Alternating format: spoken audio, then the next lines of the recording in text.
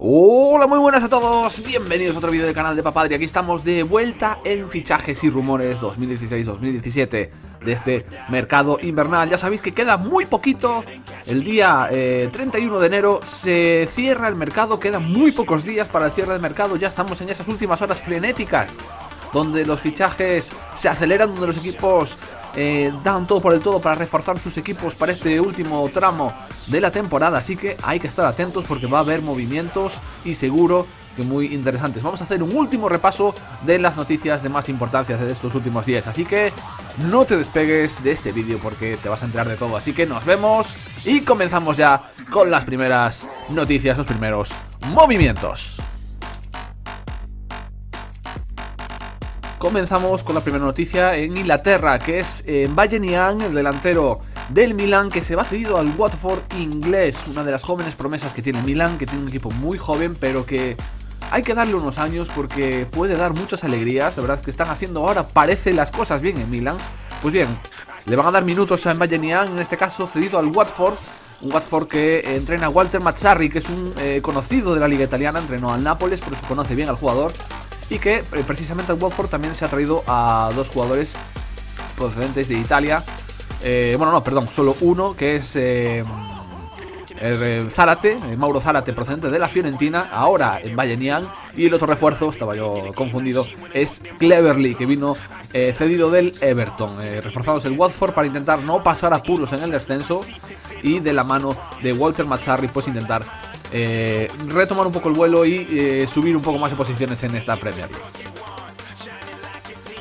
El central del Borussia Dortmund, Nenad Subotic, eh, ha sido cedido al Colonia, el otro, otro equipo de la Bundesliga, en busca de minutos. Borussia Dortmund que ya lleva, bueno, ya lleva unos cuantos años contando con este jugador que ha salido de una lesión y no está teniendo minutos en este Borussia actual, pues han optado por cederle a otro equipo de la Bundesliga, en este caso el Colonia. Un fichaje importante para el Granada, eh, buscando la salvación, es el de Adrián Ramos, del colombiano que viene procedente del Borussia de Dortmund, con un buen cartel eh, en Alemania, eh, sobre todo en su época en el Hertha de Berlín, que metió muchos goles a pesar de que en el Dortmund no ha brillado como se esperaba. Eh, en este caso en concreto lo ha comprado un club chino, eh, es, lo, habitual ya casi. Eh, creo que se llama Chongqing Li Fan, una cosa así. Y este club chino lo ha cedido, bueno, bueno entre los dos, entre el Borussia Dortmund y el club chino, han llegado al acuerdo de cederlo al Granada hasta final de temporada para echar una mano al conjunto nazarí. Y luego después el jugador colombiano se marchará a China ya en verano.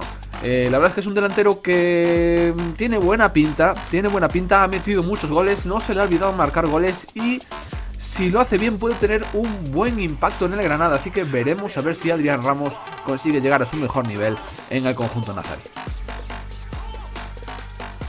Otro fichaje de importancia en la liga es de Halilovic que vuelve, que retorna a España, en este caso a la Unión Deportiva Las Palmas, un Las Palmas que tenía problemas para cerrar el fichaje de GC, todavía estaban ahí un tira a floja con el Paris Saint Germain, también estaban interesados en Jonathan Caleri, tampoco se lograba cerrar y apareció la opción de Halilovic, un Halilovic que estaba en el ostracismo total en el Hamburgo alemán, eh, no se adaptaba a Alemania, no jugaba, eh, estaba en una situación bastante mala y buscaba desesperadamente volver a España, que era un hábitat eh, para él mucho mejor por sus condiciones de, de pelotero, ¿no? De jugador de muy bien dotado técnicamente, muy del gusto de Setien, encajaba bien en Las Palmas, un equipo que juega muy bien la pelota y todo se ha hecho eh, cesión hasta final de temporada de Halilovic por medio millón de euros que pagará Las Palmas para reforzar a su equipo. Así que veremos otra vez de nuevo a la joven perla croata en la Liga Española. Otra noticia importante que no podemos dejar pasar era la llegada de Gerard de Loufeu al Milan. Igual que se ha ido en Bayern del conjunto italiano, llega el jugador catalán, el jugador español, cedido por el Everton hasta final de temporada. No estaba contando mucho para Ronald Koeman. Y que busca recobrar su mejor nivel. Aún es muy joven, eh, hay que tenerlo en cuenta. Todavía tiene muchísimo margen de, mejora y de maniobra. Pero el Milan parece una buena plaza para poder recuperar ese nivel. Eh, como os decía antes, un equipo muy joven, con muchas expectativas, que trabaja muy bien la cantera pero que se va a encontrar con, eh, en su misma posición, más o menos, también es zurdo, con el actual mejor jugador de la plantilla, que es Suso, es el, el jugador español también, el ex de Liverpool, Almería, Genoa, entre otros. Y va a haber ahí un poco de competencia que la verdad es que va a venir muy bien al conjunto milanista. Estamos pendientes a la evolución de Deulofeu, que eh, ya sabéis que es una de las grandísimas promesas del fútbol español. Después de la llegada de Halilovic a Las Palmas, otra baja que se produce en el conjunto amarillo es la de Sergio Araujo.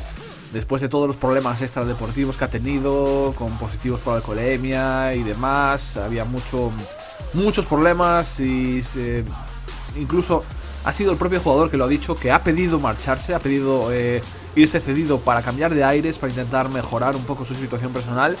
Sergio Araujo se marcha a Grecia, a el AEK de Atenas, un conjunto que últimamente está un poco decaído en el país heleno y que eh, aprovechando el tirón del jugador argentino pues intentará eh, subir, escalar posiciones en la clasificación de la Superliga de Grecia.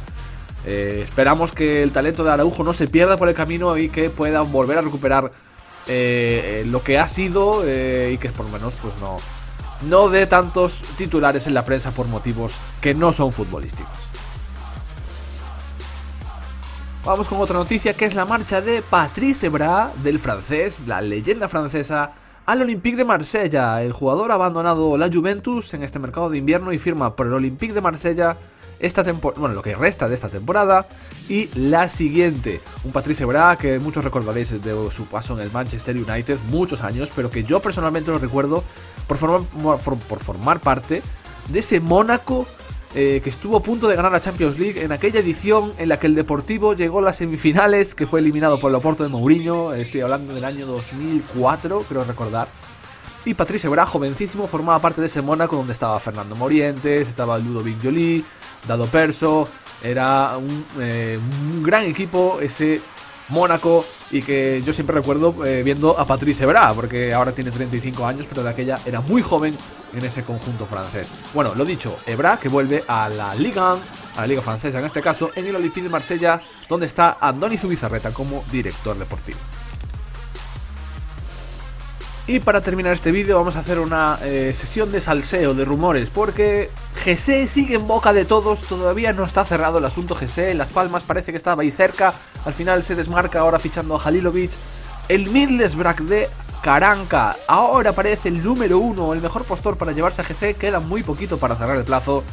Y estaremos atentos a ver dónde acaba el jugador canario.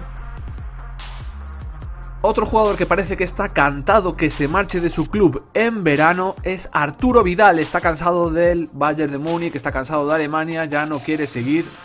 Y se rumorea de que va a jugar en el Chelsea de Antonio Conte. Antonio Conte ya lo tiene camelado, ya lo tiene prácticamente hecho y acordaros, lo más probable es que veamos a Arturo Vidal en el Chelsea la próxima temporada. Y terminamos con el Manchester United de José Mourinho. Se rumorea que, bueno, primero, que Anthony Martial no cuenta mucho para Mourinho, estaría buscando una salida, si no es ahora, sería para el mercado del próximo verano. Y en contrapartida, eh, parece ser que Mourinho está hablando con Paul Pogba, con el jugador francés, que tiene mucha amistad con Antoine Griezmann, para que Pogba convenza al jugador colchonero y se una al Manchester United la temporada que viene. Ojo a esto porque puede ser un bombazo bastante importante y un golpe duro para el Atlético Madrid. Hay rumores muy fuertes, muy ciertos de que Griezmann podría recalar en el Manchester United de Mourinho la temporada que viene. Bueno chicos, aquí se termina el vídeo, espero que os haya gustado el repaso del mercado, si es así darle un buen like, comentarlo a ver qué os ha parecido, suscribiros al canal para ver más vídeos, estaremos atentos al cierre de mercado, ahora en este último 31 de enero cuando se cierra todo, así que nos vemos en el siguiente, hasta luego.